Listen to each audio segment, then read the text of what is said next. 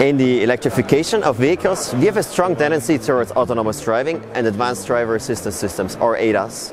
This leads to applications like steer-by-wire or electric traction inverters, which typically rely on accurate feedback of angular position and velocity in harsh environments. For such applications, resolvers, like uh, this one here, are commonly used. Now, interfacing with such resolvers can be tricky because they require sine waves with high currents around 100 milliamps coming from supplies of 12 or 24 volts.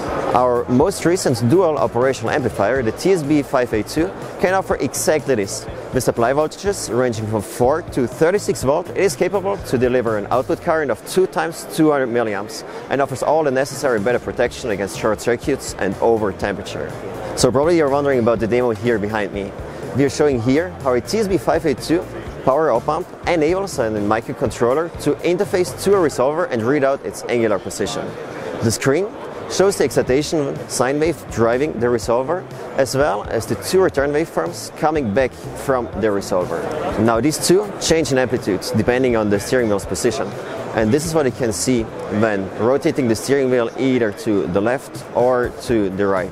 The return signals are treated by one of our ST low noise automotive op amps. And the microcontroller takes the ratio between the two signals to calculate to the angular position.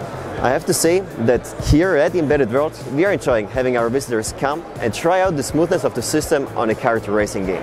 For more information about the TSB582, as well as our op amp portfolio and free samples, please visit us on st.com or contact your local ST representative.